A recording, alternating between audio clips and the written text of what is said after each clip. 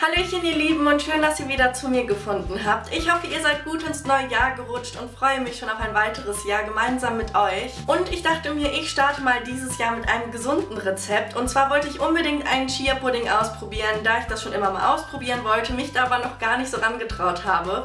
Irgendwie fand ich diese Konsistenz immer ganz schön merkwürdig. Aber ich dachte mir, das ist doch bestimmt ganz schön lecker und wollte dann eine Variante mit Kokos- und Minzgeschmack machen.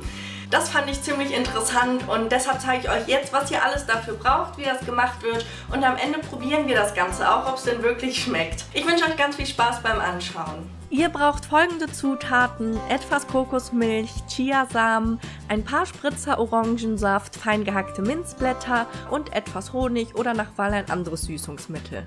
Das ganze Rezept schreibe ich euch aber zum Nachlesen nochmal auf meinen Blog, den Link dazu findet ihr unter dem Video in der Infobox. Wir fangen damit an, die Kokosnussmilch in eine Schüssel zu füllen und dann süßen wir das gleich mit dem Honig. Ich habe zwei Esslöffel verwendet, wobei ihr für die vegane Variante eine pflanzliche Alternative wie zum Beispiel Agavendicksaft verwenden könnt. Und dann kommt auch gleich die Minze hinzu, das wird dann kurz verrührt, bis der Honig sich darin auflöst und anschließend kommt noch ein Spritzer Orangensaft hinzu.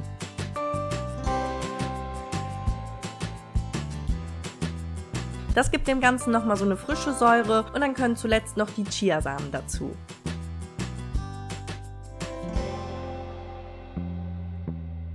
Das wird wieder einmal kurz verrührt und dann lasst ihr das für 5 Minuten lang durchziehen. Danach könnt ihr das nochmals verrühren, da sich die Chiasamen am Boden abgesetzt haben und wir das dadurch ein bisschen auflockern. Und dann geht es damit für mindestens 4 Stunden oder auch über Nacht in den Kühlschrank.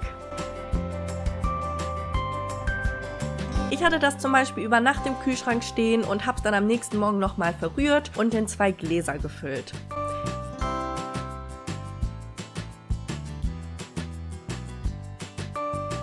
Wer möchte, kann sich das Ganze dann auch noch mit Minzblättern oder Orangenscheiben dekorieren und dann auch gleich servieren.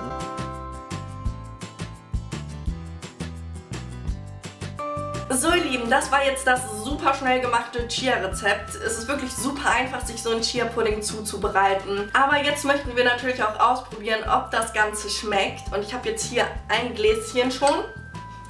Und ja, ich finde die Konsistenz immer noch total merkwürdig. Das ist so leicht glibberig, aber nicht so, so glibberig. Ich probiere einfach mal. Mmh. Schmeckt total merkwürdig. Also an diese Konsistenz muss man sich echt irgendwie gewöhnen. Das ist was ganz Neues, sowas kenne ich irgendwie nicht von der Konsistenz. Mmh, aber die Geschmacksrichtungen sind lecker. Also diese Minznote, die kommt wirklich ganz fein daraus. Und man hat auch ein bisschen was Fruchtiges von dieser Orange. Und mit dem Kokosnussaroma super lecker. Also es schmeckt definitiv nicht schlecht. Ich würde noch nicht sagen, dass es mega lecker ist. Obwohl ich es schon irgendwie lecker finde. Aber das ist wirklich so eine Gewöhnungssache. Ich habe sowas noch nie gegessen. Ich schätze mal, wenn Leute schon öfter sowas gegessen haben, dann würden die sagen, was, das ist super lecker. Irgendwie mag ich das total. Probiert es einfach aus, ist auf jeden Fall mega gesund. Chiasamen sind sehr gesund. Und das Rezept ist übrigens auch vegan. Abgesehen davon, dass ich jetzt Honig verwendet habe, aber wie gesagt, das habe ich euch ja schon beim Rezept erklärt, dass ihr euch da auch jeden anderen Süßstoff nehmen könnt, sei es Ahornsirup, Agavendicksaft oder irgendwas anderes. Wenn euch das Rezept gefallen hat, würde ich mich selber einen Daumen nach oben von euch freuen und wenn ihr keine Videos mehr von mir verpassen möchtet, abonniert diesen Kanal und dann sehen wir uns das nächste Mal mit einem neuen leckeren Rezept wieder. Bis dann, tschüss!